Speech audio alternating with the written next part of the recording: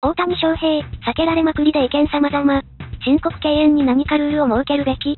馬鹿げている米メディア、トーキン、ベースボールが公開したこの日の動画では、1、0の4回西二塁から、大谷が打席にはいると、ベンチでマイクをつけたマイク、トラウト外野手が、ほら、彼、大谷、終わるかせるよ、と予言。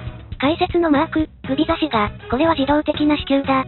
マット、チャップマンのせいだね、と話した。ファンの意見も様々。正直なところ、申告敬遠に何かルールを設けるべきだと思う。一人の選手を3回も自動的に歩かせるなんて馬鹿げている。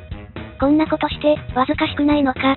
歴史に残るような素晴らしい翔平、大谷のシーズンを、地球が台無しにしようとしている。ルールなんだから何も問題ない。今の MLB は大谷翔平人気で持ってるところがあるから来年あたりまた大谷ルールなるものが新設されると思うのだが、例えば申告敬遠は1試合に1回とか、申告敬遠って導入の経緯が試合時間の短縮であって、軽音球打つとか冒頭とかを加味したものじゃないから無理かと。ボール球投げ続けられるだけになるじゃん。そのルールがお寒いよねって話だろ。そういう話ではなくルールそのものに問題がある、という話だろ。大谷までで塁を埋める、大谷の後ろのバッターがバカスカ打つ、これで防げる。それができないから今の状況なのよ。トラウトが怪我しなかったらここまでならなかっただろうけど。申告敬遠は面白くないわかる。じゃあ支給の価値を高めてやれわからない。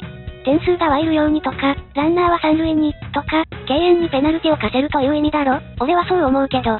チャップマンが正しい。オバワンの意見か？ボンズとかの頃から何も改善してない。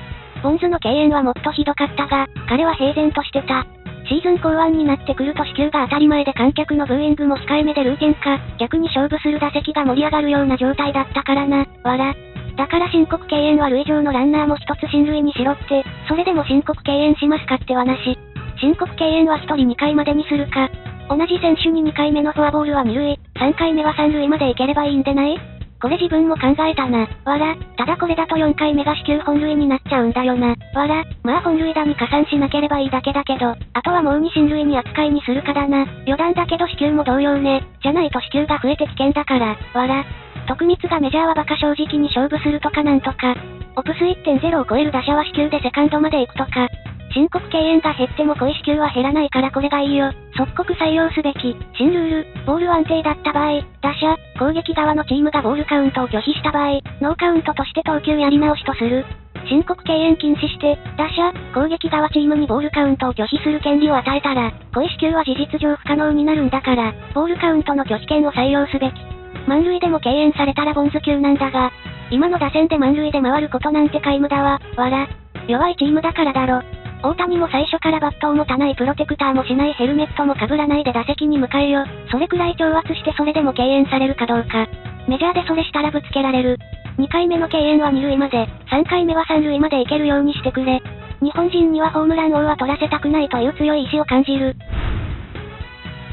昔から強打者は通ってきた道だし今更だろ。